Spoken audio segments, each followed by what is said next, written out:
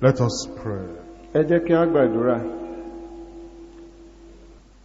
Our Father, we thank you for our Bible study once again tonight. bàbá wa a dúpẹ́ lọ́wọ́ yín lẹ́ẹ̀kan sí fún ẹ̀kọ́ bíbélì wa ti àṣálẹ́ yìí We thank you because of the teaching we receive every week as we come. a dúpẹ́ lọ́wọ́ yín fún àwọn ìdánilẹ́kọ̀ọ́ tí a máa ń rí gbà ní gbogbo ọ̀sẹ̀ tí a bá ti ń wá We thank you in particular for the emphasis we're now seeing in the epistle to the Hebrews. ní pàtàkì jùlọ à ń dúpẹ́ lọ́wọ́ yín fún ohun tí a tẹnu mọ́ nínú ìwé Hébérù We know that you have exalted Jesus Christ, our Lord and Savior. àwa mọ̀ pé ẹ ti gbé Jésù Olúwa wa ẹ ti gbé ga And as to show us his supremacy, superiority and sufficiency, I pray, O Lord, our own hearts will exalt him like you exalt him too in Jesus' name. Bí ẹ sì ṣe ń fi títóbi jùlọ rẹ̀ ọlá ńlá hàn wá àdúrà wa ni pé ọkàn wa yóò gbéga gẹ́gẹ́ bí ẹ̀yin Ọlọ́run ti gbé e ga ní orúkọ Jésù. We pray that at all times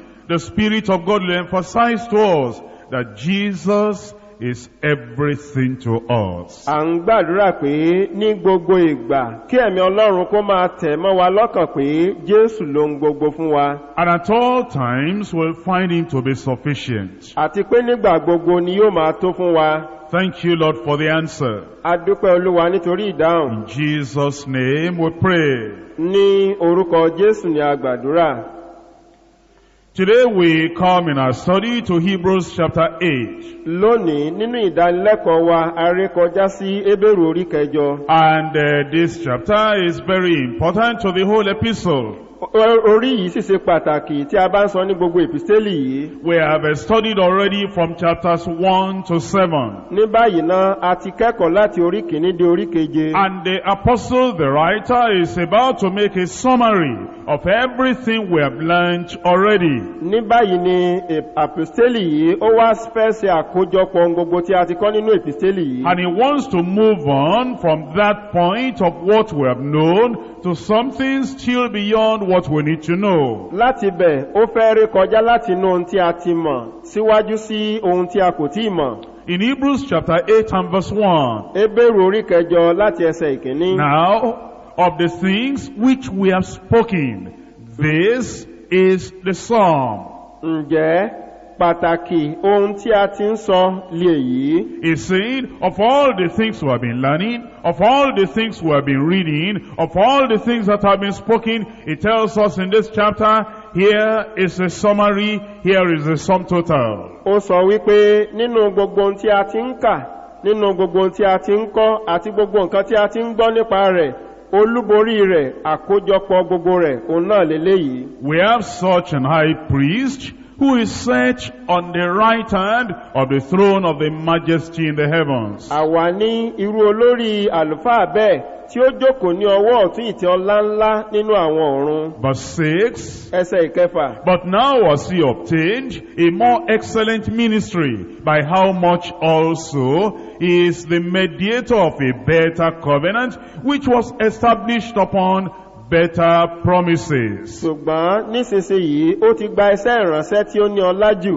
níwọ̀n bí ó ti jẹ́ pé alárinà májẹ̀mú tí ó dára jùlọ ní í ṣe èyí tí a fi ṣe òfin lórí ìlérí tí ó sàn jù bẹ́ẹ̀ lọ In verse 13, ẹsẹ̀ ìkẹtàlá in that he says, a new covenant he has made the first old. Now that which decays and waxeth old is ready to vanish away. lí èyí tí ó wí pé májẹ̀mú titun ó ti sọ ti ìṣáájú di láéláé ṣùgbọ́n èyí tí ó ń di ti láéláé tí ó sì ń gbó ó múra àti di asán The epistle in this chapter is still talking about the Lord Jesus Christ, referred to as our high priest. ẹ̀pìsẹ́lì yìí nínú orí tí a ń kẹ́kọ̀ọ́ nínú rẹ̀ ó sì ń tọ́ka sí jésù gẹ́gẹ́ bí olórí àlùfáà wa And the central thought, the central teaching of this epistle is the absolute sufficiency and the superiority of the Lord Jesus Christ. olúborí ohun tí ó wà nínú èpìstélì yìí òun náà ni pé ó ń tẹnu mọ́ pé jésù ó tó fún ohun gbogbo If we do not see the sufficiency and the superiority superiority of the Lord Jesus, we have not learnt anything then in the epistle. tí a kò bá tí ì kọ́ tàbí tí a ò tí ì rí pé kristi ó tó lẹ́kùnrẹ́rẹ́ ó sì jẹ́ olúborí a ò tí ì kọ́ nǹkan kan nínú He is greater than the ó angels. tóbi ju àwọn áńgẹ́lì lọ He is greater than the Old Testament ó prophets. tóbi ju gbogbo àwọn wòlíì májẹ̀mú He is láéláé greater lọ than all the patriarchs and the fathers in the Jewish nation. ó tóbi ju àwọn baba ńlá àwọn olórí ní ilẹ̀ jù nígbàanì He is greater than faithful Moses, the old lawgiver to the children of ó tóbi ju mósè olóòótọ́ ni ẹni tí ó gba òfin fún àwọn ọmọ ísírẹ́lì is greater than the first high priest, Aaron of Israel. ó tóbi ju olórí àlùfáà àkọ́kọ́ tí í ṣe árónì lọ ní ilẹ̀ ísírẹ́lì He is greater than all their sacrifices and everything they did in the Old Testament to make a reconciliation with ó God. tóbi ju gbogbo ìrúbọ tàbí ohunkóhun tí wọ́n bá gbéṣe nínú májẹ̀mú láéláé láti fa ìbálàjà láàárín àwọn àti ọlọ́run The epistle then is calling us to have confidence and hope in Christ. èpìstélì wa ń pè wá pé kí a fọkàn balẹ̀ kí a sì ní ìrètí nínú kristi For all our spiritual needs is sufficient. nítorí ní gbogbo àìní wa nípa tẹ̀mí ó tó fún un For all our temporal needs is fún sufficient. gbogbo àìní tí a nílò nísinsìnyí ó ti tó fún In wọn fact, for all our eternal needs, Christ is a sufficient one. àní fún gbogbo àìní tí ó tiẹ̀ lè wà fún wa ní ayérayé jésù ní ẹni tí ó tó fún ohun gbogbo That's why we say all we need is in Jesus. ìdí tí a fi sọ gbangba ni pé gbogbo ohun tí a nílò ó ń bẹ nínú He jésù satisfies and joy he supplies. ó ń tẹ́ni lọ́rùn ayọ̀ títí ayé He says life will be worthless without him. ó ní asánláyé jẹ́ láìsí rẹ̀ All things in Jesus I find. ohun gbogbo wà nínú jésù But please understand the epistle is telling us ṣùgbọ́n jẹ́ kéyìí òye ọpẹ́ ìfisẹ́lì ń sọ fún wa that there is no combination between Christ and Aaron. It's Christ alone.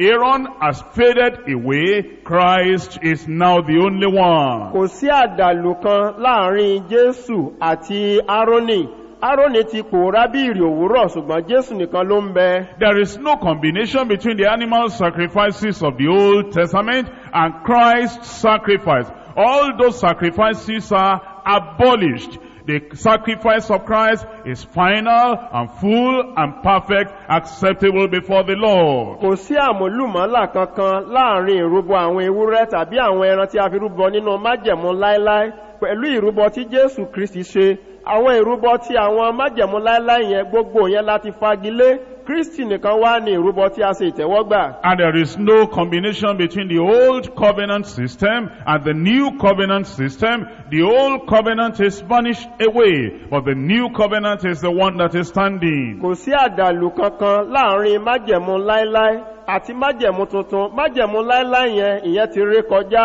májẹ̀mú tuntun ló wá wà báyìí. This is the thing that Paul the apostle wanted to emphasize so much so that the Jewish believers of that time who were trying to hold on to Jesus on the one hand and the Jewish religion Judaism on the other hand will abandon Judaism and hold on to the Lord alone. eléyìí ni paul apostoli tí ó kọ ìwé yìí fẹ́ tẹnumọ́ tó fẹ́ yanjú gbangba fún àwọn júù ìgbani tó jẹ́ pé wọ́n fẹ́ fi ọwọ́ kan di jésù kristi mú kí wọ́n kó tún di ẹ̀sìn júù mú lọ́wọ́ kejì pé ẹ̀sìn ti júù yẹn wọ́n láti jù ú lẹ̀ kí wọ́n kí ó sì di jésù nìkan And mú. this is what the Spirit of the Lord is still emphasizing to worshippers today who are trying to hold on to Jesus on the one hand and trying to hold on to some things in the old covenant on the other hand. Abandon that which has vanished away the whole covenant and come on and hold on to the Lord Jesus Christ, the mediator of the new covenant. ohun kan náà ni ẹ̀mí ọlọ́run ń tẹ̀ mọ́ àwọn olùjọsìn òde òní lẹ́nu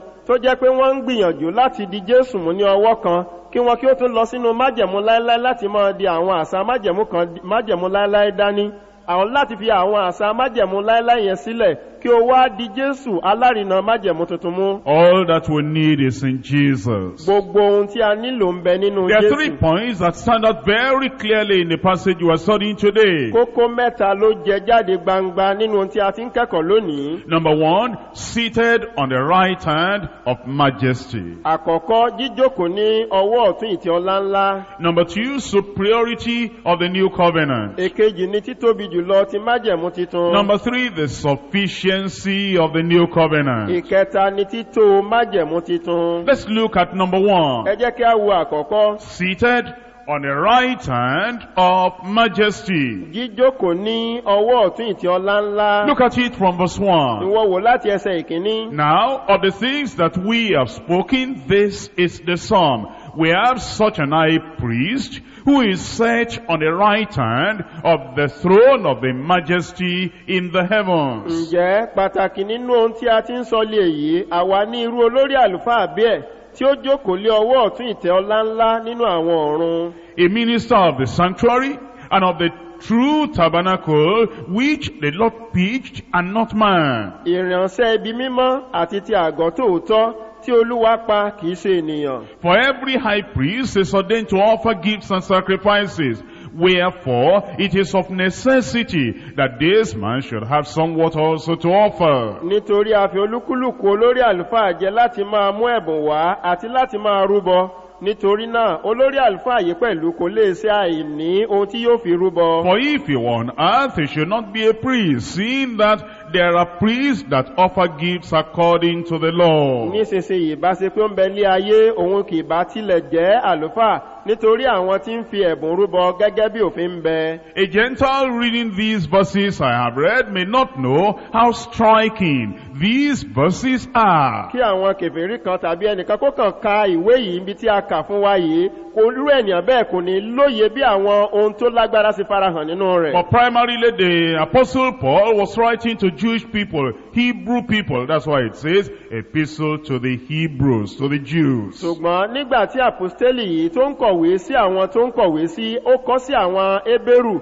ìdí tí a ṣe pè ní èpìstélì sí àwọn ébérù He nìyí. was writing to the people that knew the details of the old covenant. ó ń kọ̀wé sí àwọn tó mọ ohun tó wà nínú májẹ̀mú láéláé. The people that knew the functions and the roles and the activities of the priest and the high priest. àwọn tí wọ́n mọ ojúṣe àti iṣẹ́ tí a fi fún àwọn olórí àlùfáà láti máa ṣe. They knew many details of the functions of the high priest. ọ̀pọ̀lọpọ̀ iṣẹ́ tí àwọn olórí àlùfáà ń ṣe ni ó yé wọn. They knew that the high priests were to offer gifts and sacrifices. wọ́n mọ̀ pé àwọn olórí àlùfáà láti máa fi ẹ̀bùn àti ẹbọ rúbọ. They knew that their own tabernacle was divided into three parts. wọ́n mọ̀ pé àgọ́ tiwọn á pín sí ipa mẹ́ta. There was the outer court where they will kill the animal and make their sacrifice. ipa tòde wà níbi tí wọn yóò ti pa àwọn ẹran tí wọn yóò sì ṣe ìrúbọ Then wọn. there was the holy place where they had the table of showbread over there. ibi mímọ́ sì wà tí wọ́n ti ní tábìlì àkàrà tí wọn yóò ti máa ṣe The ìrúbọ. priests could be in the outer court, they could come to the holy place as well. àwọn àlùfáà tó wà ní ìta yẹn wọ́n sì lè wá sí ibi mímọ́ láti ṣe ìrúbọ. But then there was a third part, the holy of holies. ṣùgbọ́n ibi ìkẹta wá wà ibi mímọ́ jùlọ. That place was demarcated and separated by the heavy curtain that shielded the holy of holies away from the holy place. ibi mímọ́ jùlọ yìí ni a dá sí méjì tó jẹ́ wípé aṣọ ńlá tí a pè ní aṣọ ìkèlé ni a fi dábò rẹ̀ tí ó fi ìyàtọ̀ láàárín mímọ́ àti mímọ́ jùlọ. The average Israelite, the normal Israelite could never go to the holy of holies. ọmọ ìsírẹ́lì nìkan sákálá kan kò kàn lè kùgbò láti lọ sí ibi mímọ́ jùlọ. The ordinary priest could not go to the holy of holies. àlùfáà lásán gan pàápàá kò lẹ́tọ̀ọ́ láti lọ sí ibi mímọ́ jùlọ. Only the high priest could get to the holy of holies and make the sacrifice for them on the day of atonement. kìkì olórí àlùfáà nìkan la fa àyè gbà láti lọ sí ibi mímọ́ jùlọ láti lọ ṣètùtù fún wọn ní ọjọ́ ètùtù wọn. And that high priest could not go there presumptuously or carelessly. He went there with fear. He went there with trembling just to perform the function in there to perform in the Holy of Holies. olórí àlùfáà fúnra rẹ̀ kò kàn gbọ́dọ̀ kùgbò láì kíyèsára kó wọ ibi mímọ́ jùlọ irú olórí àlùfáà fúnra rẹ̀ tó bá fẹ́ wọbẹ̀ ó ń láti ṣe ìrúbọ kí ó tó lè wọbẹ̀ lọ níbi mímọ́ yìí. and uh, his garment, uh, in the rim of his garment, the edge of his garment, you have little, little bells, so that as he was walking and functioning in the Holy of Holies, it will be sounding, and the people outside will be hearing, then they will know he has not made a mistake, because if he made an error, a mistake, committed a fault there, he will be stricken dead, and then they will not hear the sound of the bell of any movement anymore. They will know that the high priest has done something wrong and he has been stricken dead in the Holy of Holies.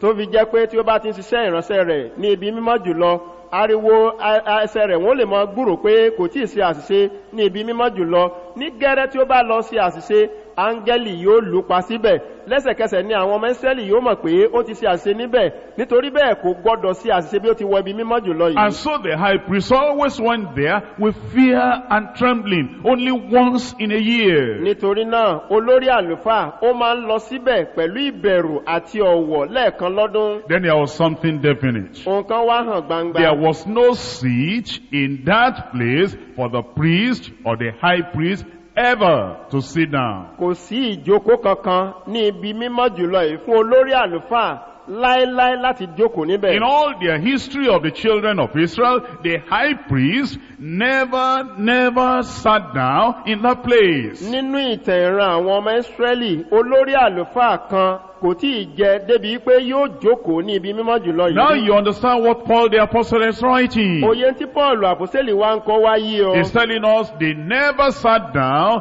but our great high priest, he has finished the sacrifice. Now he is seated on the right hand of the throne of majesty in the heavens. ó sọ gbangba pé àwọn olórí àlùfáà ti gbà ní wọn kò jókòó níbi mímọ́ jùlọ rí ṣùgbọ́n olórí àlùfáà ti wa tí ó ga jùlọ ó ti parí iṣẹ́ náà ní báyìí ó wá jókòó ní ọwọ́ ọ̀tún ìtẹ́ ọlá ńlá nínú àwọn ọ̀run The reason they never sat down is because their work was never finished. ìdí tí wọn kì í fi jókòó nígbàanì ni pé wọn kò tí ì ṣiṣẹ́ wọn láṣẹ pé You cannot rest, you cannot sit until everything has been finished. o kò lè jókòó bẹ́ẹ̀ o kò lè sinmi láì jẹ́ pé o parí ohun gbogbo They sacrificed thousands of animals, but the work was never, never finished. ẹgbẹgbẹ̀rún ẹranko ni wọ́n fi rúbọ síbẹ̀síbẹ̀ iṣẹ́ náà ò parí But Jesus offered one single sacrifice. It was a final thing. He accomplished everything. And now he is seated, is set on the right hand of the throne of the majesty in the heavens.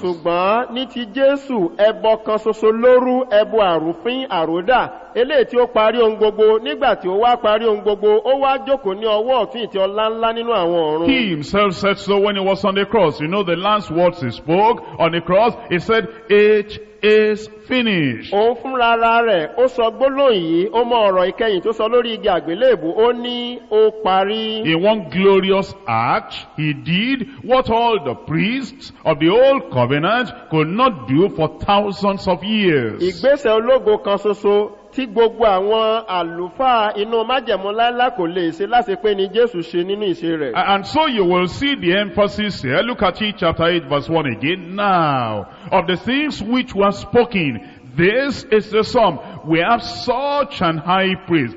The, the wording of that sentence, it didn't say we just have an high priest. We have such an high priest who is set, that is seated on the right hand of the throne of the majesty in the heavens. ìdí tó fi wá tẹnumọ́ ní ìwọ náà wò ní orí kẹjọ ẹsẹ̀ ìkíní lẹ́ẹ̀kan sí ǹjẹ́ pàtàkì nínú ohun tí à ń ni èyí. Àwa ní irú olórí àlùfáà bẹ́ẹ̀. Wò bó ṣe kọ̀rọ̀ yẹn kò sọ pé àwa ní olórí àlùfáà ṣùgbọ́n ó ní.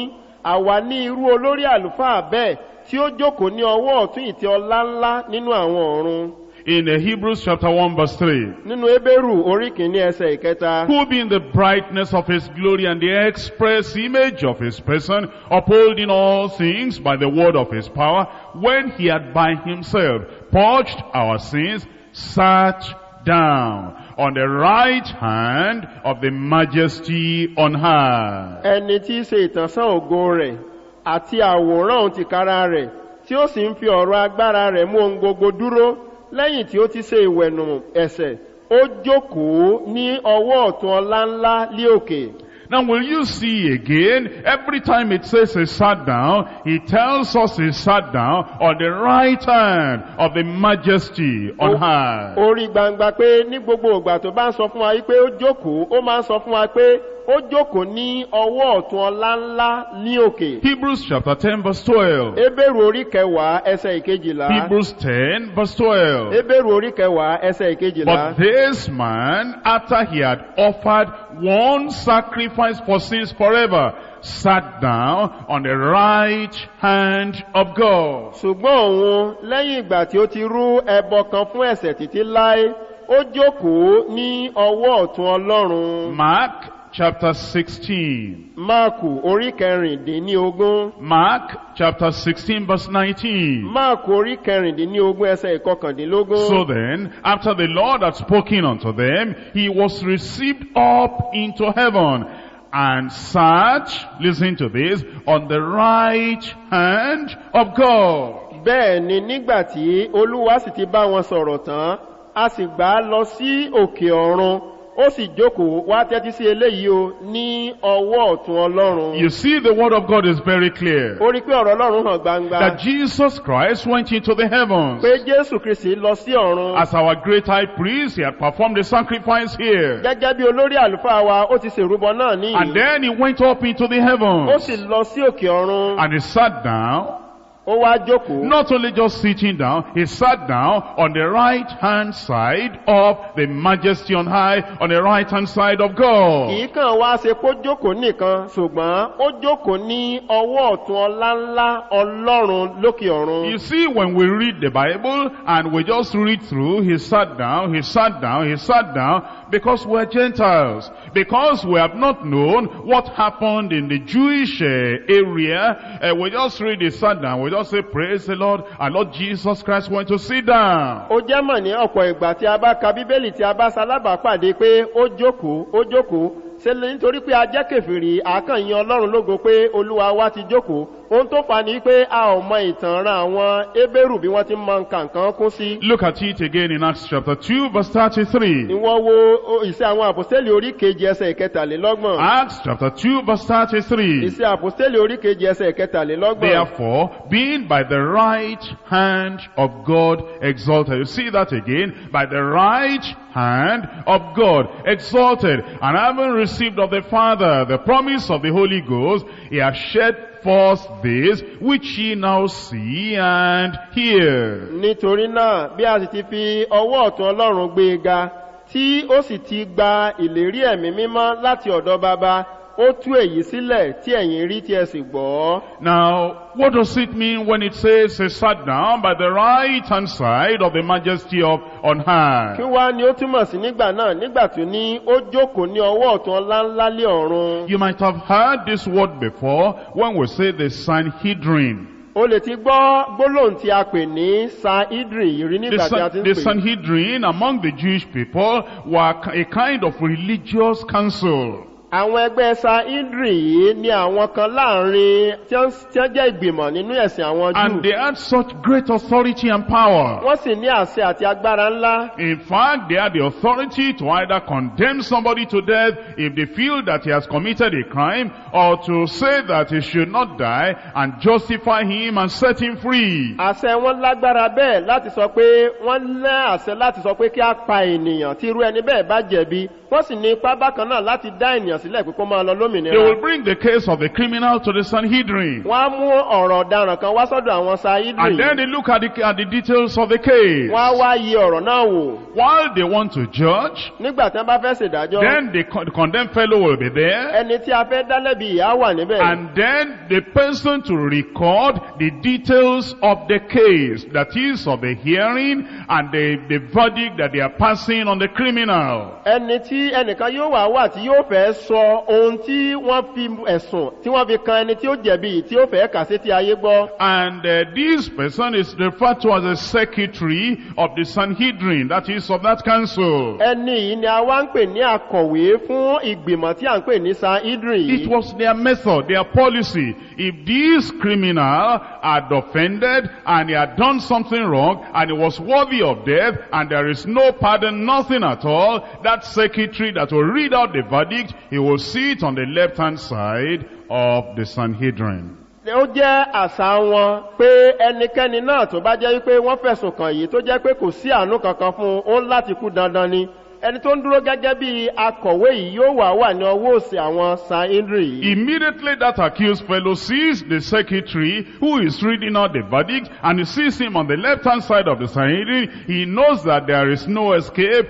Death penalty is upon him. ní gẹ́rẹ́ tí ọ̀daràn yìí bá ti fojú gan ni ẹni tó fẹ́ sọ ẹ̀sùn rẹ̀ fàyè gbọ́ tó jókòó ní ọwọ́ òsì àwọn saidri ó mọ̀ pé kò sí àjàbọ́ kankan ikú dájú But if they are pardoning him, ṣùgbọ́n tí wọ́n bá fẹ́ foríjìn if they are saying you can go, tí wọ́n bá sọ pé o lè máa lọ if they say there is no judgment, tí wọ́n ní kò sí ìdájọ́ the secretary who is to announce the verdict, he'll be sitting on the right hand side. a- akọ̀wé ẹni tí ó sọ nípa ìdájọ́ yìí ọwọ́ ọ̀tún àwọn ìgbìmọ̀ yìí ni yóò ti And jókòó immediately the accused fellow sees that secretary who is going to tell the final thing, the decision of the Sanhedrin, sitting on the right hand side. He knows, well, these people have pardoned me. I am going to go out free. There is no death penalty upon me. I am free. lẹ́sẹ̀kẹsẹ̀ tí ọ̀daràn yìí tí ó bá ti rí akọ̀wé tí ó kéde ìdájọ́ rẹ̀ yìí tó bá ti lọ jókòó ní ọwọ́ ọ̀tún àwọn ìgbìmọ̀ saidri yìí ọkàn rẹ̀ abalẹ̀ pé a ti dá mi láre kò sí ẹjọ́ mọ́ bẹ́ẹ̀ ni kò sì kú mọ́. Now you understand,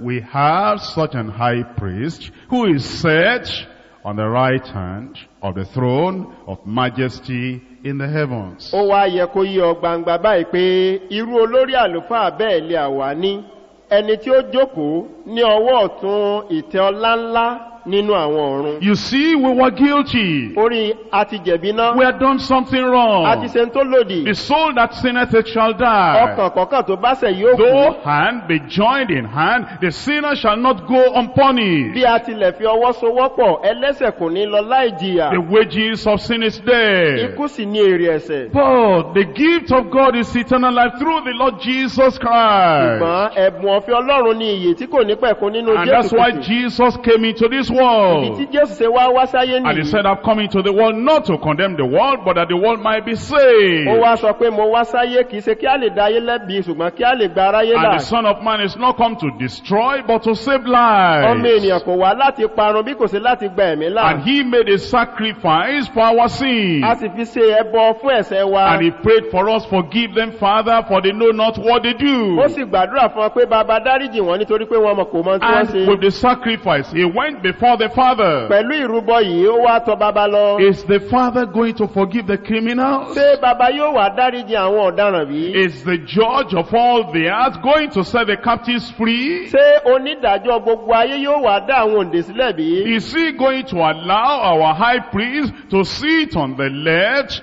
then we're doomed, or to sit on the right, then we're happy forever? ṣé yóò wá jẹ́ kí olórí àlùfáà wa kó jókòó ní ọwọ́ òsì ká wọnú ègbé ayérayé tàbí kó fààyè gbà láti jókòó ní ọwọ́ ọ̀tún kí a lè wà nínú òmìnira títí He ayé appeared before the Father after the ó sacrifice. farahàn níwájú baba lẹ́yìn ìrúbọ náà And the Father pointed to the right hand side. baba wa nawọ́ sí ọwọ́ ọ̀tún Praise the Lord, the sacrifice is accepted. ògo ni fún ọlọ́run àti gba ìrúbọ náà Our sins are forgiven. a ti dárí ẹ̀sẹ̀ wa jìn We shall not Àwa ò die. ní kú The mọ́. father pointed to the high priest. He said, I have accepted your sacrifice. I have pardoned those people. I have forgiven all their, all their sins. As a sign of that, sit on the right hand of the majesty in the heavens. bàbá wa lọ́run ó wá nawọ́ sí olórí àlùfáà wa wípé ẹbọ tó o ṣe fún àwọn èèyàn yìí mo ti tẹ́wọ́ gbà á mo ti dáríjì wọ́n mo ti fi ẹ̀sẹ̀ wọn jìn wọ́n nítorí náà wá jókòó ní ọwọ́ ọ̀tún ọláńlá lọ́run And so now Jesus Christ is seated. ní báyìí o jésù ti wá jókòó And you know every time a sinner prays, ó mọ̀ gbogbo ìgbà tí ẹlẹ́sẹ̀ bá wá gbàdúrà the prayer may appear weak. àdúrà náà lè dàbí ẹni pé ò lágbára It may appear ó feeble. lè dàbí ẹni pé ò But lókun God listens to that prayer ṣùgbọ́n ọlọ́run tẹ́tí sí àdúrà and he yìí looks at the high priest on the right hand ó side sì wo lórí àlùfáà ní ọwọ́ and he ọ̀tún says it's not because of that sinner, it's because of the one that has made the sacrifice.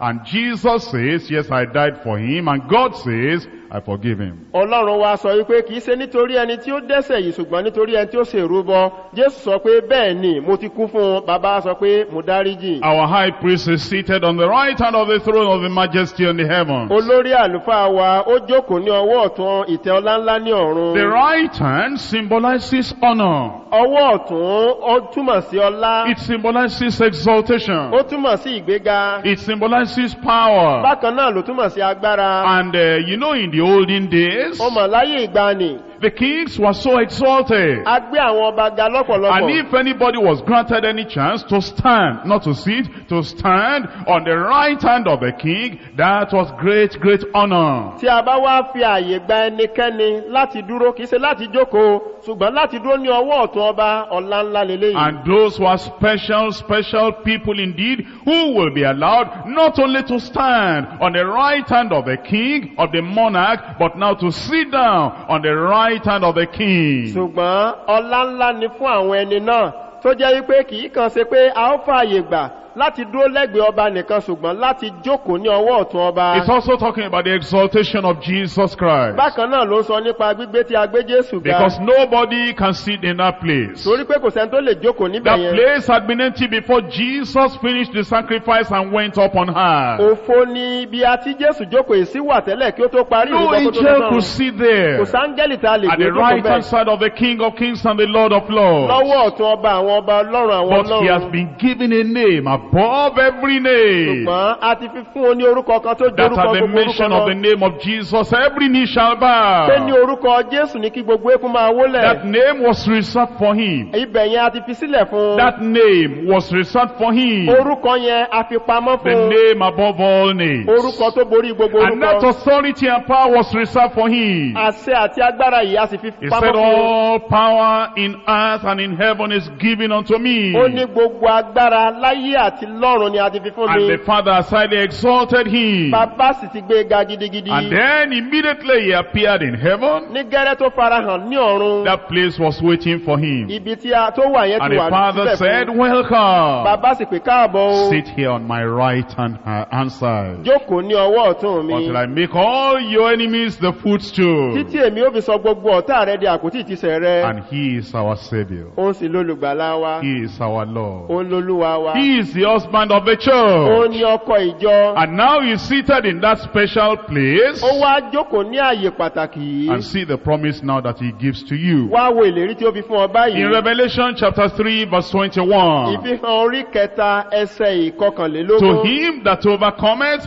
I will grant to sit with me in my throne, even as I have also overcome, and I am set down uh, with my Father in his throne. ẹni tí ó bá ṣẹ́gun lé èmi ó fi fún láti jókòó pẹ̀lú mi lórí ìtẹ́ mi bí èmi pẹ̀lú ti ṣẹ́gun tí mo sì jókòó pẹ̀lú bàbá mi lórí ìtẹ́ rẹ̀. Something great is waiting for you and for me. ohun ńlá ohun ńlá kan dúró de ìwọ If we will endure and overcome unto the tí a end, bá lè forí tì tí a sì lè ṣẹ́gun títí dópin. it says we will sit with him on his ó throne. sọ pé àwa yóò jókòó pẹ̀lú òun lórí ìtẹ́ I pray that nothing will take that privilege away from you. àdúrà mi ni pé ohun kan kò ní mú àǹfààní ìkóònù ayé And so you see Jesus Christ is greater than the high priest in the Old Testament and now he's standing there for us, he's making intercession for us. ó wá rí gbangba pé báyìí jésù tí ó ga ju gbogbo àwọn olórí àlùfáà nù májẹ̀mú láéláé lọ ó ti wá farahàn fún wa tó ń bẹ̀bẹ̀ fún wa That leads us to point number two. eléyìí ló mú a lọ sínú kókó The superiority now of the new covenant. ní báyìí a wá ń sọ nípa títóbi jùlọ ti májẹ̀mú titun. The old covenant was mediated by the high priest. À- májẹ̀mú láéláé àwọn alárinà rẹ̀ ní olórí àlùfáà. When we talk of a covenant, we're talking of a contract.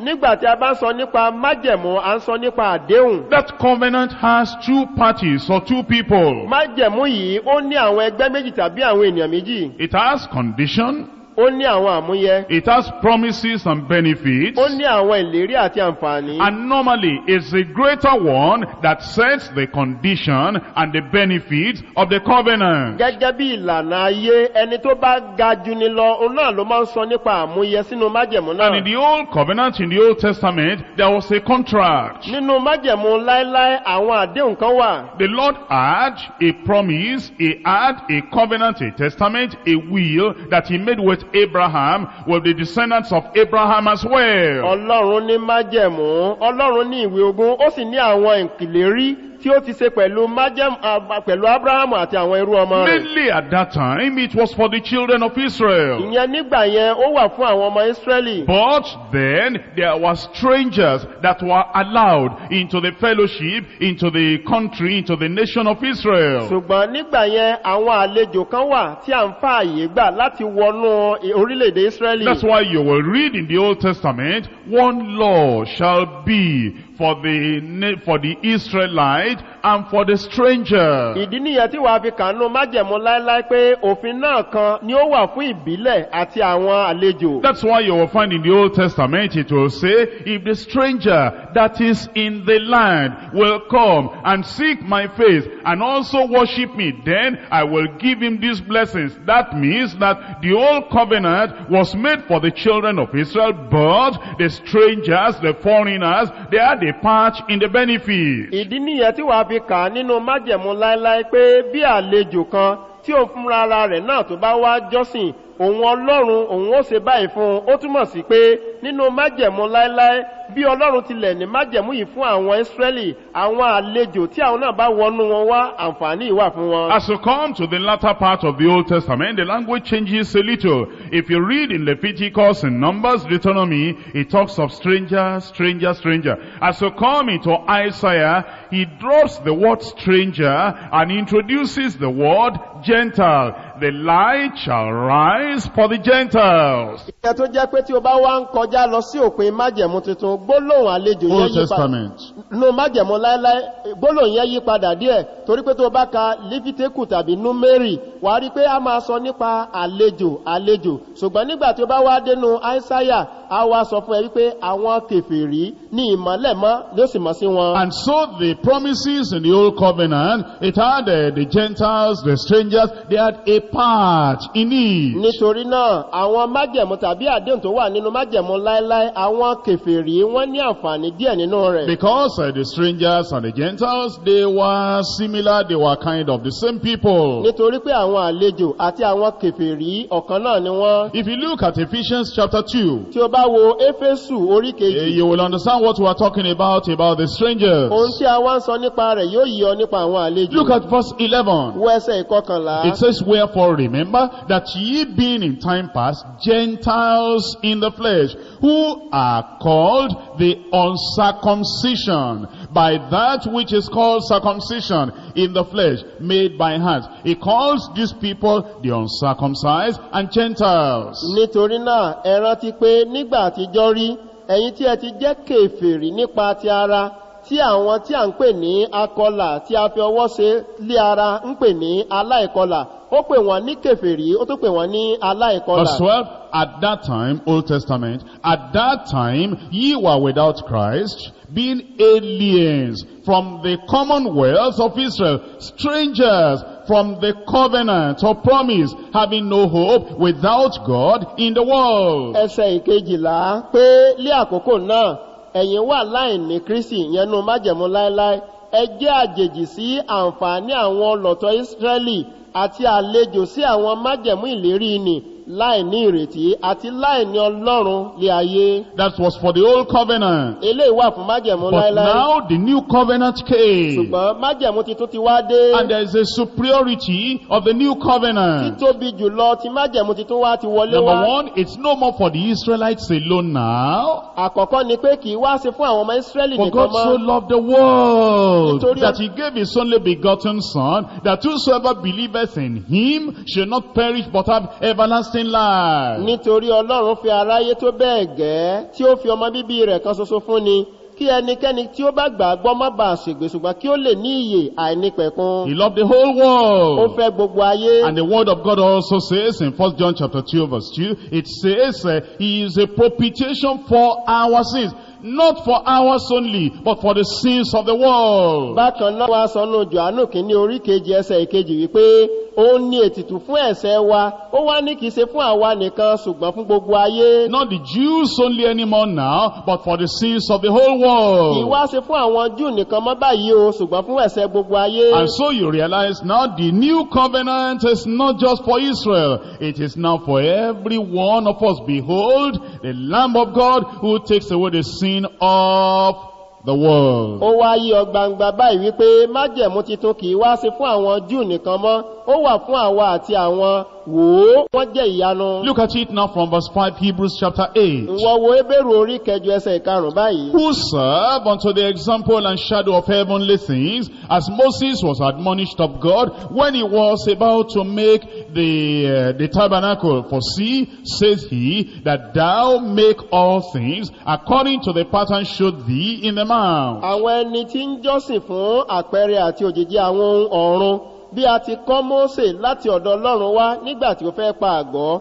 nítorí ó wípé kíyèsí kí o ṣe ohun gbogbo gẹ́gẹ́ bí àpẹẹrẹ tí a fi hàn lórí òkè He's making a comparison between the old covenant and the new covenant. ó ń ṣe àfiwé láàárín májẹ̀mú láíláí àti májẹ̀mú titun He's calling the old covenant shadow. ó ń pe májẹ̀mú láíláí ní òjìji Then he's calling the new covenant by comparison, he's calling it the substance. gẹ́gẹ́ bí àfiwé báyìí ó wá ń pe májẹ̀mú titun ní ojúlówó Now can you think of those two words? ronú nípa gbólóhùn méjì yìí Shadow Oji- and substance. òjìji àti ojúlówó gan Or reality and reflection. Tàbí ohun tí a rí gan tàbí àwòféèfé rẹ̀ lásán Now the shadow is only reflecting, the shadow is only telling you there is something there and because the su- sun is shining on the reality and on the substance, you have the shadow that is cast down. nígbà tí òjìji bá wà ó ń sọ fún ẹ wípé ojúlówó ń bẹ nítòsí ìyẹn ni pé oòrùn tó ń tàn sí ojúlówó yìí òun ló mú òjìji tó ń wá sí ibi tí a ti rí. The shadow has no substance in itself. òjìji kò ní ẹ̀dá ti ara fún ara rẹ̀ It cannot have an independent existence. kò lè ní òmìnira ìwà láàyè fún ara rẹ̀ It cannot stand alone. kò lè dádúró fún ara rẹ̀ It is the substance that can really stand and it is the substance that creates the shadow. ojúlówó gan ló lè dúró gbẹ̀yìn nígbà tí ó bá wà níbẹ̀ lójijì tó lè farahàn Which means the shadow is the evidence of the real thing. ó wá túmọ̀ pé òjìji ó jẹ́ àmì pé ojúlówó ń bẹ And nítòsí the old covenant was just a shadow. májẹ̀mú láéláé òjìji lásán sì ni It is the new covenant that is the reality and the substance. májẹ̀mú titun òun wá ní ojúlówó tí a lè dìmú And gbangba as the substance is superior to the shadow, so the new covenant is superior to the old covenant. gẹ́gẹ́ bí ojúlówó ṣe lálá tí ó sì ga ju òjìji lọ bẹ́ẹ̀ ni májẹ̀mú titun lọ́lá tí ó ga ju májẹ̀mú láéláé Look lọ at verse 6. wo ẹsẹ̀ ìkẹfà But now I see Jesus Christ obtained a more excellent ministry. ṣùgbọ́n nísinsìnyí ni jésù kristi ó ti gba iṣẹ́ ìránṣẹ́ tí ó ní He ọlá has jù obtained a more excellent ministry. ó ti gba iṣẹ́ ìránṣẹ́ tí ó ní ọlá jù And then it says, by how much also he is the mediator of a better covenant. ó tún tẹ̀síwájú láti sọ pé níwọ̀n bí ó ti jẹ́ pé alárinà májẹ̀mú tí ó dára jùlọ which ní was ṣe established upon better promises. èyí tí a fi ṣe òfin lórí ìlérí tí ó sàn jù bẹ́ẹ̀ When you lọ want to say that something is better and greater than another one, these are the words he uses. He uses more excellent.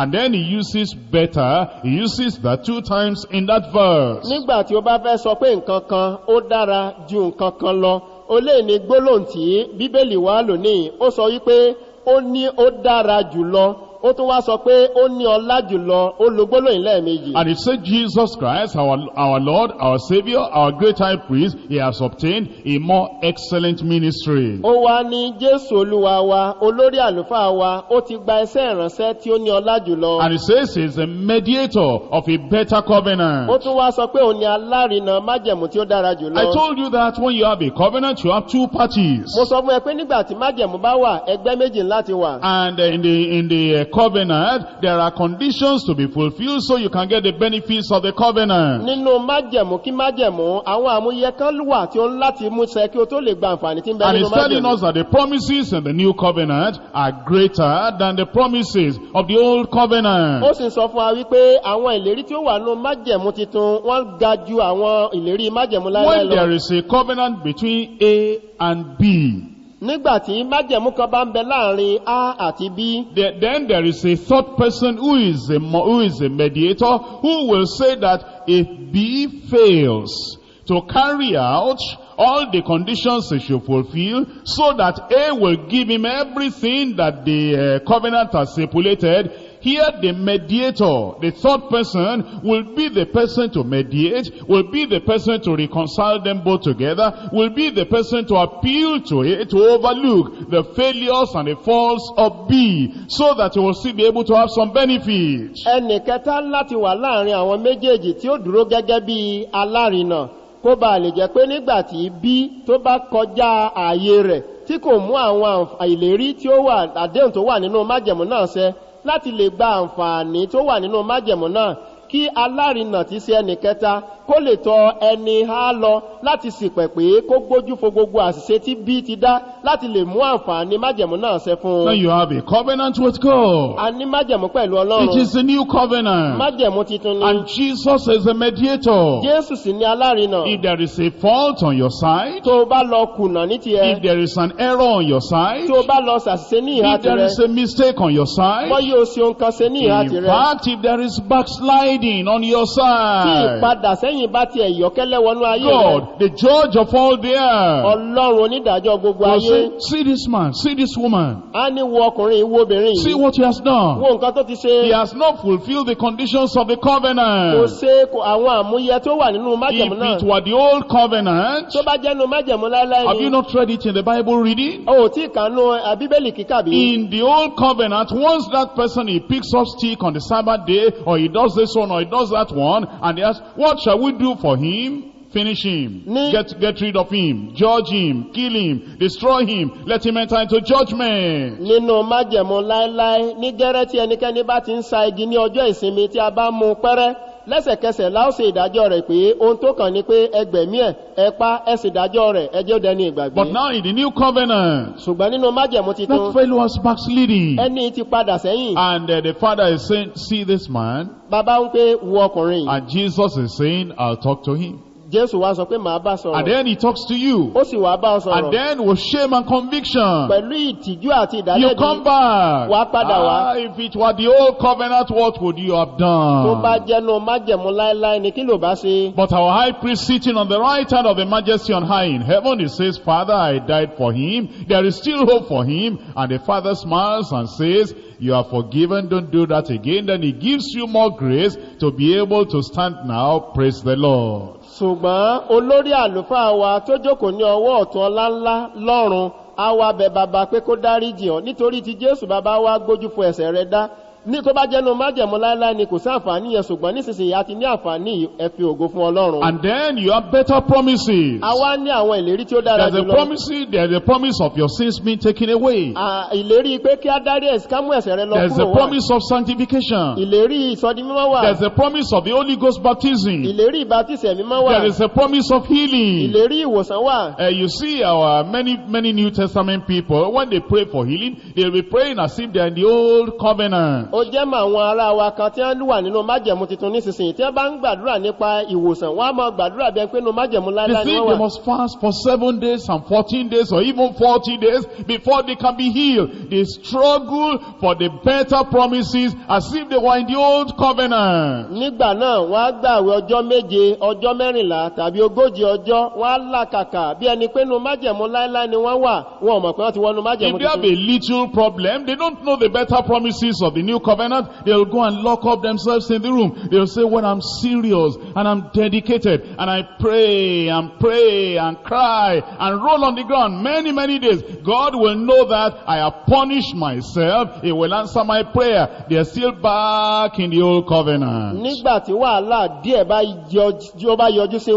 nígbà yẹn wọn ò ní mọ̀ pé a ní àwọn ìlérí tí ó dára jùlọ nínú májẹ̀mú wá tilẹ̀kùn mọ́ rí wọn á gbàwé ọlọ́jọ́ gbọ́ọ́rọ́ wọn á wá sọ wọn á fara wọn jìyà wọn á wá máa rò nídàánú ara wọn pé tí àwọn bá fìyà jẹ ara wọn báyìí inú ọlọ́run á wá dùn bí ẹni pé wọ́n sì wà nínú májẹ̀mú láéláé. They do not make use of the ministry of the Lord Jesus Christ sitting there for them on the right hand of the majesty in the heavens. wọn kò ṣe àmúlò iṣẹ́ ìránṣẹ́ jésù kristi ẹni tó jẹ́ pé ó jókòó fún wọn ní ọwọ́ ọ̀tún ọlá ńlá ní The ọ̀run. new covenant is better enjoy the new covenant. májẹ̀mú titun ó dára jùlọ máa gbádùn àwọn àǹfààní It májẹ̀mú was titun established upon better promises. a gbé kalẹ̀ lórí àwọn ìlérí tí ó dára Look jùlọ at verse 7. For if that first covenant had been faultless, then should not a place have been found, have been sought for the second. wo ẹsẹ̀ ìkeje nítorí ìbáṣepé májẹ̀mú ìṣáájú ni kò ní àbùkù ǹjẹ́ a kì bá ti wáàyè fún èkejì The fault there is talking about the limitation of the old covenant. àbùkù tó wà níbẹ̀ ni pé ó ń sọ nípa òdiwọ̀n tí májẹ̀mú But láéláé the ní new covenant has no limitation like that. ṣùgbọ́n májẹ̀mú titun kò ní òdiwọ̀n kankan rárá I pray God will open your eyes and see. àdúrà mi ni pé kí ọlọ́run là ọ́ lójú láti You will rí know that you are the child of a king. wàá mọ̀ pé ọmọ ọba ni You ọ́ will know that Jesus is representing you in heaven. wàá mọ̀ pé jésù ń sojú rẹ lọ́run You will know that Jesus is making intercession for you. wàá mọ̀ pé jésù ń ṣìpẹ̀ fún ọ You will know that you're under the new wàá covenant. mọ̀ pé nínú májẹ̀mú titun ló wà You will know that the promises are just available there. Stretch out your hand and you will catch it in Jesus' name. yóò yọ nígbà náà wípé àwọn ìlérí náà láti fi pamọ́ fún ẹ kó o kàn náwó jáde kí o sì gbà lórúkọ You will know jésù that every bad dream, every negative thing, every cause that the devil or his agents may be talking about, it has no place at all. You are a beneficiary of the new covenant and the better promises will work in your life. wàá mọ̀ pé gbogbo àlákàlà tàbí ègún tàbí orí burú eléyìí tí èsù fẹ́ máa náwó rẹ̀ sí ọ ìyẹn ò ní í ṣe pẹ̀lú rẹ rárá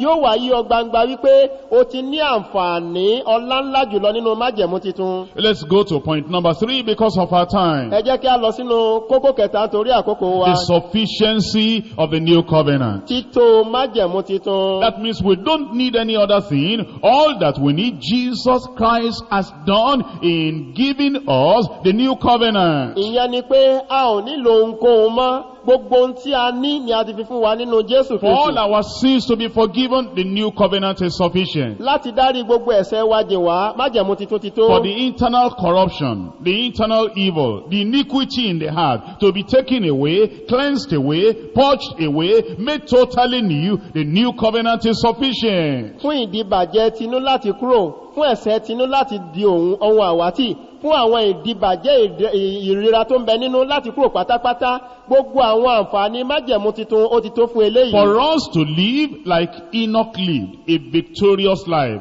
a life without blemish, a life of happiness, a life of joy, a life to live without backsliding, one day in the year, any week all through our life, to live consistently with the Lord. The new covenant has made a provision and the new covenant is sufficient. láti gbé ìgbé ayé irú ètí náà kò gbé ìgbé ayé aṣẹ́gun ìgbé ayé aláyọ̀ ìgbé ayé tó jẹ́ pé ọjọ́ kan nínú ọjọ́ ayé wa tá ò ní dẹ́sẹ̀ gbogbo ọ̀sẹ̀ pátá tí ń bẹ nínú ayé wa láì kọlu ẹ̀sẹ̀ kankan rárá àwọn àǹfààní àti ìpèsè májẹ̀mú ti tuntun fún eléyìí For you to be a favorite of heaven, láti jẹ́ ẹni tí ọlọ́run yóò mọ bójú ọ̀run yóò mọ bọlá fún you just walk straight into the presence of tí God. wàá máa lọ tààrà síwájú ọlọ́run And you talk to God like a father. tí wàá máa bá ọlọ́run sọ̀rọ̀ bíi bàbá And you look at Jesus Christ on his right hand tí side. wàá sì máa fojú inú wo jésù ní ọwọ́ ọ̀tún bàbá And it is settled in your heart that everything you tell the Father will be done because here is Jesus on the right hand of God and the angels are standing at attention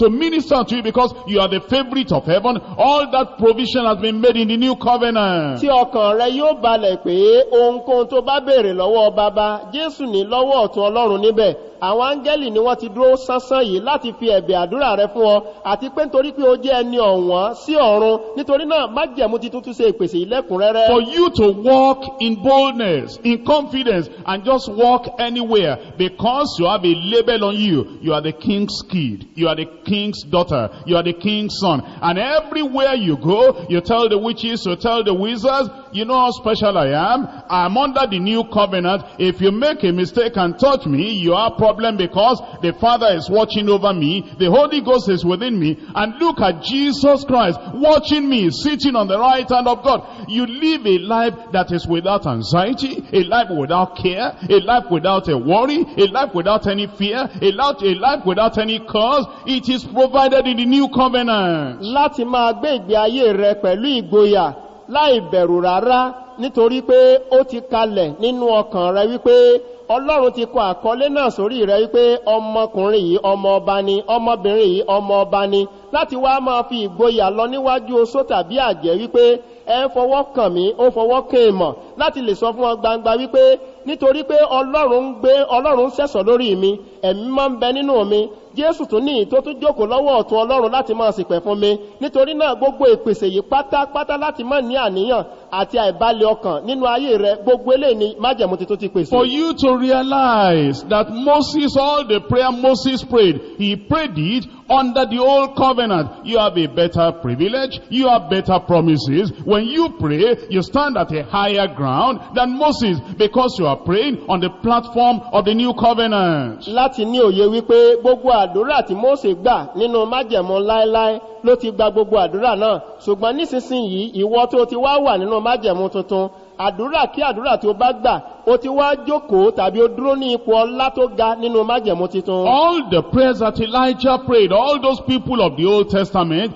it was only on the basis of the Old Covenant. When we pray today, we are on the platform on the New Covenant. In fact, the moment you mention the name of Jesus, you are transported immediately above the Old Covenant. And when you open your mouth and talk to majesty on high, that is, is more than an angel praying. àní gbogbo àdúrà eléyìí tí èlíjà tàbí gbogbo àwọn tó gbàdúrà nù májẹ̀mú láéláé orí bèbè májẹ̀mú láéláé ni wọ́n ti gba àdúrà náà. Ṣùgbọ́n àwa nísinsìnyí a ti wà nínú májẹ̀mú titun ní gẹ́rẹ́ tí a bá ti gbàdúrà pàápàá jùlọ tí a bá tilẹ̀ lọ fẹnu kan orúkọ jésù. Lẹ́sẹ̀kẹsẹ̀ la ó gbé wa lọ sí bèbè májẹ̀mú titun nítorí pé àdúrà wa yóò lágbára bí ìgbà tí áńgẹ́lì bá ń sọ̀rọ̀. Look at the New Covenant. wo májẹ̀mú titun. And always understand that New Covenant is sufficient. jẹ́ kí eléyìí kó wá yí ọ pé májẹ̀mú titun yìí ó tó fún ohun It gbogbo. is sufficient to transport you from earth unto heaven. ó tó láti sí ọ nídìí látayé lọ sọ́run It is sufficient to keep you faithful till you see the Lord face to face. ó tó láti pọ́ ọmọ lódodo láti dítí dìgbà tí wàá rí It ọlọ́run is sufficient to eradicate the problem that started in the Garden of Eden. ó tó láti pa gbogbo wàhálà tí ó jẹ jáde nínú ọgbà ẹdánì kúrò It nínú ayé is rẹ sufficient to make you live a victorious life, an overcoming life, a conquering life, a joyful, happy life. ó ti tó láti jẹ́ kí o gbé ìgbé ayé aṣẹ́gun ìgbé ayé aláìlábà àwọn kankan tí ọkàn rẹ̀ yóò balẹ̀ Look at it from verse 8. wò láti ẹsẹ̀ ìkẹjọ For finding fault with them, he said, Behold, the days come with uh, uh, the Lord, uh, says the Lord, when I will make a new covenant with the house of Israel and with the house of Judah. ní ẹsẹ̀ ìkẹjọ nítorí ó rí àbùkù lára wọn ó wí pé kíyèsí ọjọ́ ń bọ̀ ní olúwa wí tí èmi ó ba ilé ísírẹ́lì àti ilé júdà dá májẹ̀mú titun. That is telling us that God Almighty himself is the author and the founder of the new covenant. eléyìí ló fi yé wa gbangba nígbà náà pé ọlọ́run olódùmarè òun ni olùdásílẹ̀ tí ó ṣe ìdásílẹ̀ májẹ̀mú titun Verse 9, not according to the covenant which I made with their fathers in the days which I took them by the hand uh, to lead them out of the land of Egypt, because they continued not in my covenant, and I regarded them not, says the ní Lord. ẹsẹ̀ ìkẹsàn-án kìí ṣe gẹ́gẹ́ bí májẹ̀mú tí mo bá àwọn bàbá wọn dá lé ọjọ́ náà tí mo fà wọ́n lọ́wọ́ láti mú wọn jáde kúrò ní ilẹ̀ íjíbítì nítorí tí wọn kò dúró nínú májẹ̀mú mi èmi kò sì kà wọ́n sí ni olúwa wí. That is telling us that the new covenant is totally different, not according to the covenant I made with them, with their fathers in the day when I took them from the land of Egypt. It is different. eléyìí ló ń fi yé wa gbangba pé májẹ̀mú titun ó yàtọ̀ gédégédé nígbà tí ó sọ pé kìí ṣe gẹ́gẹ́ bí májẹ̀mú tí mo bá àwọn bàbá wọn dá ní ọjọ́ tí mo fà wọ́n lọ́wọ́ jáde kúrò ní íjíbítì ìyẹn ni pé ó yàtọ̀ pátápátá. The new covenant does not have the weaknesses and the frailty and the limitations of the old covenant. májẹ̀mú titun yìí kò ní àìkáàárẹ̀ kan tàbí àléébù kan tàbí àìlágbára tàbí àìkúnrẹ́rẹ́ ti májẹ̀mú In láéláé. verse 10, for this is the covenant that I will make with the house of Israel after those days, says the Lord. I will put my laws in their mind and write them in their hearts, and I will be to them a God, and they shall be to me a people. ní ẹsẹ̀ ìkẹwàá nítorí èyí ni májẹ̀mú tí èmi ó bá ilé israẹli dá lẹ́yìn ọjọ́ wọn nílé olúwa wí èmi ó fi òfin mi sí inú wọn èmi ó sì kọ wọ́n sí ọkàn wọn èmi ó sì máa jẹ́ ọlọ́run fún wọn wọn ó sì máa jẹ́ ènìyàn fún mi. The laws of the old covenant were written upon the stone. òfin májẹ̀mú láéláé akọ́sára òkúta. But now he says, I'm not going to write it upon the stone. I'm going to have such a personal relationship with them. I'm going to write my law, my word in their heart, in their mind. ṣùgbọ́n ní báyìí ló wá pinnu pé n kò ní kọ́ sí ara òkúta ṣùgbọ́n ìbáṣepọ̀ tímọ́tímọ́ yóò wà láàárín èmi pẹ̀lú wọn èmi yóò kọ òfin mi sí ọkàn àyà I will be a God unto them. They shall be my people. èmi ó jẹ́ ọlọ́run fún wọn wọn ó sì máa jẹ́ ènìyàn fún mi. In verse 11, they shall not teach every man his neighbor and every man his brother, saying, Know the Lord, for all shall know me from the least to the greatest. ní ẹsẹ̀ ìkọkànlá olúkúlùkù kì yóò sì máa kọ́ ará ìlú rẹ̀ àti olúkúlùkù arákùnrin rẹ̀ wípé mọ olúwa nítorí pé gbogbo wọn ni yóò mọ̀ mí láti kékeré dé àgbà. That is when you come into the new covenant. ìyẹn ni pé tí o bá wọnú májẹ̀mú It will not be that the fear of the old covenant and uh, the punishment of the old covenant and all the people driving you, pulling you, saying you must know the Lord, you must serve the Lord, forcing you. There will be that love in your heart. To love Him with all your heart, all your soul, all your, you will just love the Lord. You'll just want the Lord. You'll just want to be serving Him. There will be that kind of natural affection, affinity with the Lord that you would like to love Him and serve Him. ìyẹn ni pé irú ẹ̀rù tinú májẹ̀mú láéláé tí à ń fi tìkúùkù mú ọ pé fẹ́ olúwa sin olúwa tí a máa tì ọlọ́gbọ̀ngbọ̀n kí o tó sin olúwa ṣùgbọ́n ó wá sọ pé nínú májẹ̀mú titun ìfẹ́ láti ọkàn wá tí wàá fi fẹ́ olúwa pẹ̀lú gbogbo ọkàn rẹ pẹ̀lú gbogbo ẹ̀mí rẹ irú ìfẹ́ bẹ́ẹ̀ tí ìṣe pé à ń fi tìpá tìkúùkù mú ni láti ṣe yóò mọ ti ọkàn rẹ jáde sí And I olúwa will be merciful to the unrighteousness. èmi ó sì sàánú fún ẹ̀sùn dodo And their wọn sins and iniquities I will remember no more. ẹ̀ṣẹ̀ wọn àti àìṣedédé wọn ni èmi kì yóò sì rántí mọ́. That means when you are forgiven, you are a sinner coming to the Lord, immediately you are forgiven. Remember, you are getting that forgiveness under that, under the new covenant. Immediately you are forgiven forever, forever. God will never mention them against you. It's no more on your record. He will look at you as if you never sinned since you were born. ìyẹn pé gẹ́gẹ́ bí ẹlẹ́sẹ̀ tí ò ń tan ọlọ́run wá fún ìdáríjì ní gẹ́rẹ́ tí o bá ti ń bọ̀ ó jẹ́ kó yí pé òun wá lábẹ́ májẹ̀mú titun ní gẹ́rẹ́ tí o bá sì ti wá jẹ́wọ́ ẹ̀sẹ̀ rẹ fún olúwa láéláé ó ọlọ́run kò tó ní rántí ẹ̀sẹ̀ yìí nípa tìrẹ mọ́. Not that you'll come the following Sunday again and say, Oh God, remember the sins I committed 30 years ago, 20 years ago. God says, what are you talking about? It's no more on record. I don't know about it. It will never be remembered anymore. Talk about another thing because those sins are already forgiven and forgotten. kì í wá ṣe pé ní ọjọ́ ìsinmi tó bá tún tẹ̀lé wà tó wá tọ ọlọ́run wá pẹ̀lú ẹ̀rù jẹ̀jẹ̀ pé ọlọ́run ṣe bínú o tí mo dá lọ́gbọ̀n ọdún ogún ọdún sẹ́yìn ọlọ́run wá sọ pé kí ló tún sọ yìí gbogbo àwọn wọ̀nyẹn mo ti gbàgbé nípa rẹ̀ ní gẹ́rẹ́ tó ti jẹ́wọ́ rẹ̀ tó ti kọ̀ sílẹ̀ gbogbo rẹ̀ ti lọ sókun gbàgbé Your slate is clean. a ti fọ tábìlì rẹ Your mọ́ record is clean. àkọsílẹ̀ rẹ ti mọ́ Be in fellowship with the Lord wà now. nínú ìdàpọ̀ pẹ̀lú And ọlọ́run immediately báyìí you are born again, move on and get sanctified and let the word of God be written on the table of your heart. ní gẹ́rẹ́ tí o bá ti dẹni ìgbàlà tẹ̀síwájú láti ní ìsọdi mímọ́ kí a lè kọ òfin ọlọ́run sí òkan àyà rẹ in various parts of the of the Bible, the Lord talks about the new covenant. ní àwọn ibi mìíràn nínú nínú bíbélì ni ọlọ́run ti ń sọ nípa májẹ̀mú titun Actually, it was from the time of the Old Testament, the Lord had been looking forward and telling the people that a new thing is coming, a new thing is coming, I'm going to give you a new covenant. láti inú májẹ̀mú láéláé ni ọlọ́run ti ń tọ́ka sí ọjọ́ iwájú pé ohun tuntun ń bọ̀ ohun ọ̀tún ń bọ̀ màá fún yín ní májẹ̀mú titun Jeremiah chapter 31 verse 31.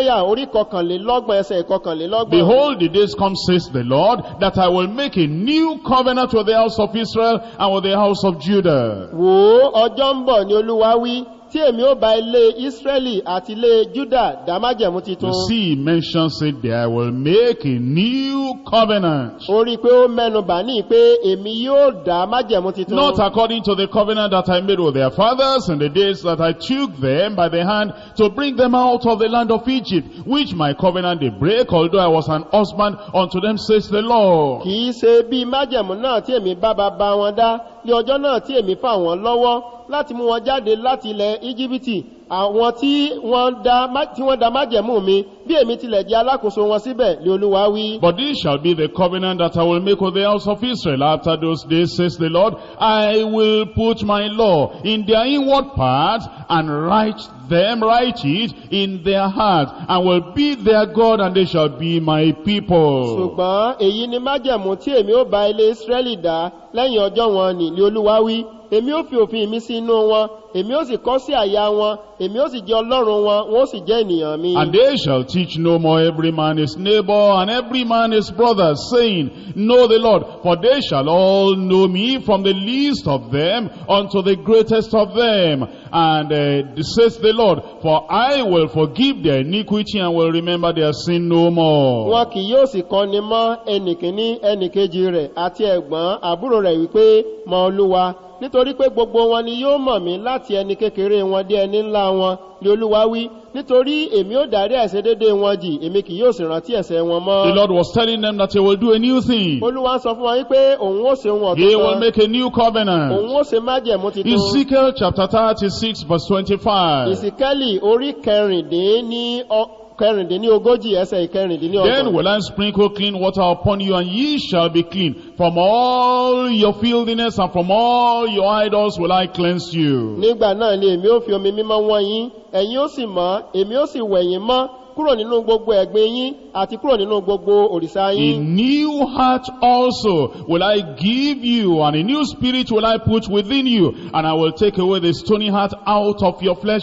and I will give you an heart of flesh. èmi ó fi ọkàn titun fún yín pẹ̀lú ẹ̀mí titun lé èmi ó fi sínú yín èmi ó sì mú ọkàn òkúta kúrò lára yín ẹ̀yin ó sì èmi ó sì fi ọkàn ẹran fún yín. And I will put my spirit within you and cause you to walk in my statutes, and ye shall keep my judgments and do them. èmi ó sì fi ẹ̀mí mi sínú yín èmi ó sì mú kí ẹ máa rìn nínú àṣẹ mi ẹ̀yin ó sì pa ìdájọ́ mi mọ́ ẹ ó sì máa ṣe He wọ́n. was making the people to look forward to the time when the new covenant will be ratified by the Lord. ó ń jẹ́ kí wọn kí ó fojú inú wo ọjọ́ iwájú nígbà tí májẹ̀mú titun tí jésù kristi yóò ṣe alárinà rẹ̀. Luke chapter 1 from verse 72. lúùkù orí kìíní ẹsẹ̀ ìkejìléláàádọ́rin To perform the mercy promised to our fathers and to remember his holy covenant. láti ṣe àánú tí ó ti lérí fún àwọn bàbá wa àti láti rántí májẹ̀mú rẹ̀ mímọ́. The whole, the oath which is swear unto our father Abraham. ara tí ó ti bú fún ábúráhámù bàbá that he wa. will grant unto us that we being delivered out of the hands of our enemies might